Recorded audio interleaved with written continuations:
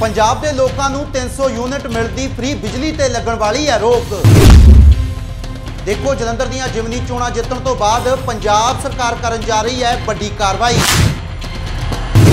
ਚੱਕ ਦੇ ਟੀਵੀ ਦੇ ਨਾਲ ਤੁਸੀਂ ਜੁੜ ਚੁੱਕੇ ਹੋ, ਪਿਆਰ ਭਰੀ ਸਤਿ ਸ੍ਰੀ ਅਕਾਲ। ਮੈਂ ਹਾਂ ਸੁਖਬੀਰ ਸਿੰਘ ਸ਼ੇਰਗਲ। ਵੱਡੀ ਖਬਰ ਤੁਹਾਡੇ ਨਾਲ ਸਾਂਝੀ ਕਰਨ ਲੱਗੇ ਹਾਂ, ਜਿੱਥੇ ਪੰਜਾਬ ਦੇ ਲੋਕਾਂ ਦੇ ਵੱਲੋਂ ਵੱਡੀ ਰਾਹਤ ਮਹਿਸੂਸ ਕੀਤੀ ਜਾ ਰਹੀ ਸੀ ਕਿ ਉਹਨਾਂ ਨੂੰ 300 ਯੂਨਿਟ ਹਰੇਕ ਮਹੀਨੇ ਮਾਫ ਹੋ ਰਿਹਾ ਹੈ ਬਿਜਲੀ ਦਾ, ਜਿਸ ਦੇ ਨਾਲ ਉਹਨਾਂ ਦੀ ਜੇਬ ਦੇ ਉੱਪਰ ਪੈਣ ਵਾਲੇ ਭਾਰ ਦੇ ਵਿੱਚ ਕਿਤੇ ਨਾ ਕਿਤੇ ਕਟੌਤੀ ਉਹ ਜ਼ਰੂਰ ਮਹਿਸੂਸ ਕਰ ਰਹੇ ਸੀ ਤੇ ਹੁਣ ਉਹਨਾਂ ਦੇ ਲਈ ਕਿਤੇ ਨਾ ਕਿਤੇ ਇਸ ਚੀਜ਼ ਦੇ ਵਿੱਚ ਚਿੰਤਾ ਦਾ ਵਿਸ਼ਾ ਬਣਨ ਵਾਲਾ ਹੈ, ਕਿਉਂਕਿ 300 ਯੂਨਿਟ ਜਿਹੜੀ ਫ੍ਰੀ ਬਿਜਲੀ ਮਿਲਦੀ ਹੈ, ਇਸ ਦੇ ਉੱਪਰ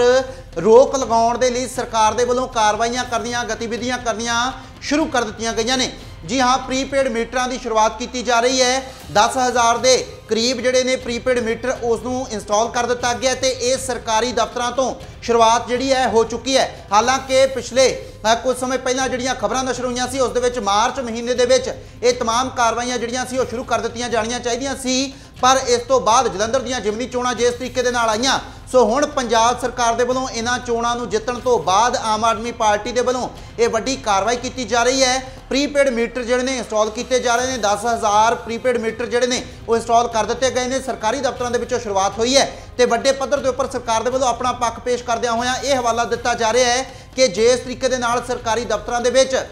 ਬਿਜਲੀ ਦੀ ਖਪਤ ਜਿਹੜੀ ਹੁੰਦੀ ਹੈ, ਬਿਜਲੀ ਦੀ ਆ ਜਿਹੜੀ ਦੁਰਵਰਤੋਂ ਹੁੰਦੀ ਹੈ ਉਸ ਦੇ ਉੱਪਰ ਰੋਕ ਲਗਾਉਣ ਦੇ ਲਈ ਪ੍ਰੀਪੇਡ ਮੀਟਰ ਜਿਹੜੇ ਨੇ ਉਹ ਲਾਏ ਗਏ ਨੇ। ਇਹ ਪ੍ਰਕਿਰਿਆ ਸਰਕਾਰੀ ਦਫ਼ਤਰਾਂ ਤੋਂ ਜਲਦ ਹੀ ਹੁਣ ਲੋਕਾਂ ਦੇ ਆਮ ਘਰਾਂ ਤੱਕ ਵੀ ਪਹੁੰਚੇਗੀ। ਹਾਲਾਂਕਿ ਇਸ ਨੂੰ ਹੋਰ ਚੀਜ਼ਾਂ ਦੇ ਵਿੱਚੋਂ ਹਜੇ ਕਟੌਤੀ ਕੀਤੀ ਗਈ ਹੈ ਸਰਕਾਰੀ ਹਸਪਤਾਲਾਂ ਦੇ ਵਿੱਚ ਜਾਂ ਫਿਰ ਐਨਜੀਓਜ਼ ਜਿਹੜੇ ਬਣੇ ਹੋਏ ਨੇ ਜਾਂ ਫਿਰ ਜਿਹੜੇ ਰਜਿਸਟਰਡ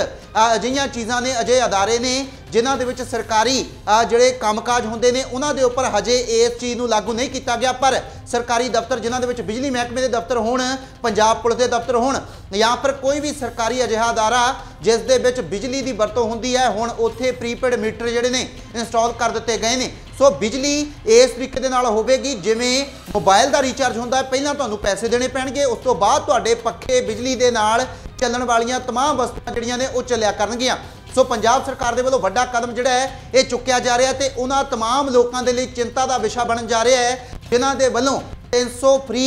ਯੂਨਿਟ ਜਿਹੜੀ ਉਹਨਾਂ ਨੂੰ ਬਿਜਲੀ ਦੀ ਮਿਲਦੀ ਸੀ ਇਸ ਕਰਕੇ ਪੰਜਾਬ ਸਰਕਾਰ ਨੂੰ ਪੰਜਾਬ ਦੀ ਆਮ ਆਦਮੀ ਪਾਰਟੀ ਨੂੰ ਵੋਟਾਂ ਪਾਈਆਂ ਗਈਆਂ ਨੇ ਆਉਣ ਵਾਲੇ ਸਮੇਂ ਦੇ ਵਿੱਚ ਇਹ तमाम ਜਾਣਕਾਰੀਆਂ ਜਿਹੜੀਆਂ ਨੇ ਜ਼ਮੀਨੀ ਪੱਧਰ ਦੇ ਉੱਪਰ ਸੱਚ ਹੁੰਦੀਆਂ ਵੀ ਸਾਬਤ ਹੋਣਗੀਆਂ ਤੇ 10000 ਮੀਟਰ ਜਿਹੜੇ ਸਰਕਾਰੀ ਦਫ਼ਤਰਾਂ ਦੇ ਵਿੱਚ ਇੰਸਟਾਲ ਕੀਤੇ ਗਏ ਨੇ ਉਹਨਾਂ ਦੇ ਨਾਲ ਕਿਸ ਤਰੀਕੇ ਆ ਪ੍ਰਭਾਵਿਤ ਇਸ ਬਿਜਲੀ ਦੀ ਕਟੌਤੀ ਹੋਵੇਗੀ ਸੋ ਆਉਣ ਵਾਲੇ ਸਮੇਂ ਦੀਆਂ तमाम ਜਾਣਕਾਰੀਆਂ ਤੁਹਾਡੇ ਨਾਲ ਜ਼ਰੂਰ ਸਾਂਝੀਆਂ ਕਰਾਂਗੇ ਪਰ ਚਿੰਤਾ ਦਾ ਵਿਸ਼ਾ ਆਮ ਉਹਨਾਂ ਲੋਕਾਂ ਦੇ ਲਈ ਬਣਨ ਦੇ ਲਈ ਤਿਆਰ ਬਰ ਤਿਆਰ ਹੈ ਜਿਨ੍ਹਾਂ ਦੇ ਵੱਲੋਂ 300 ਯੂਨਿਟ ਫ੍ਰੀ ਬਿਜਲੀ ਦੇ ਲਈ ਪੰਜਾਬ ਸਰਕਾਰ ਨੂੰ ਵੋਟਾਂ ਪਾਈਆਂ ਗਈਆਂ ਸਨ ਆਉਣ ਵਾਲੇ ਸਮੇਂ ਦੀਆਂ तमाम ਜਾਣਕਾਰੀਆਂ ਵੀ ਤੁਹਾਡੇ ਨਾਲ ਇਸੇ ਤਰੀਕੇ ਤੱਤ ਪਰ ਸਾਂਝੀਆਂ ਕਰਦੇ ਰਹਾਂਗੇ ਫਿਲਹਾਲ ਦੇ ਲਈ ਚੱਕ ਦੇ ਟੀਵੀ ਦੇ ਨਾਲ ਜੁੜੇ ਰਹੋ ਧੰਨਵਾਦ